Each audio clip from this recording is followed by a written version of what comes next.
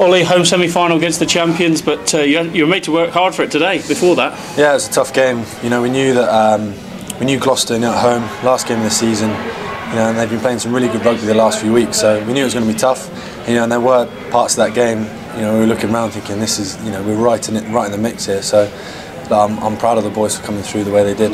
Yeah, very tough. You know, they came at us. We knew they were going to. Uh, you know, sell out crowd at Kingsholm. It's always a tough place to come and play, but you know, we knew if we could, you know, stick to our guns and keep going, and that sort of 60-minute mark, we might be able to pull away from them a bit. Did you tweak a little bit of the game plan at half-time? It seemed you went a bit more direct second half. Um, yeah, we talked a little bit at half time about you know taking opportunities when they were there. Um, you know, and like I said, we just stuck to what we were doing. Didn't try to change too much. Um, but yeah, we just went after them. Obviously, Saracens next. You know exactly what's coming at you. They're the European champions for a reason. Yeah, I think you know we've got two weeks now. Um, you know, full attention on that game, and it's, it's going to be a cracker at home. Home advantage. How key is that?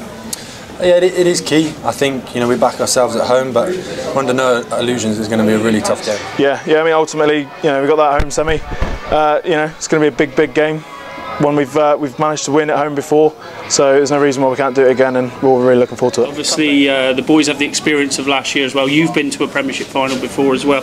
That's all got to come into play now, isn't it? I think so. I think you know if you look back on the teams that have done well, Saracens and South Northampton, you, you know you get to a final and you lose, and you, you take the experiences from that. So you know hopefully we can do the same. Yeah, yeah, yeah. I mean, you know, they're a fantastic side. Everyone knows that. They got a you know star-filled team, so you know we're all going to relish this opportunity about getting a good win at home. So uh, we look forward to it. People talk about the Wasps game last year, the semi-final, the whole emotion, the atmosphere, everything. You want a bit more of the same? Yeah, better. yeah. I mean, that, like Stino said the other night that you know that was the best uh, emotion and that he's felt whilst he's been playing at the club, and I'm the same, feel the same.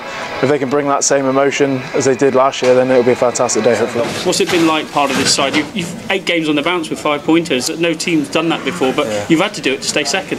It's a special place to be at the moment, um, if I'm honest. And uh, yeah, I'm, I'm, I'm, at the moment I'm super proud of the lads. I think you know the character that we show, especially you know it's not just this week. It's been the last two or three games, the last 20 minutes. You know the character the boys have shown, and you know we take our play, we take ourselves to a place where you know it's tough. dark. It's, it's dark, but you know we, we come out strong. So yeah, super proud of everyone involved. It's- I mean, that, ultimately, that's what it is. 80 minutes away from Twickenham, so you know, one one hard shift, and you know, hopefully we can get there. Obviously, let's talk about your try then.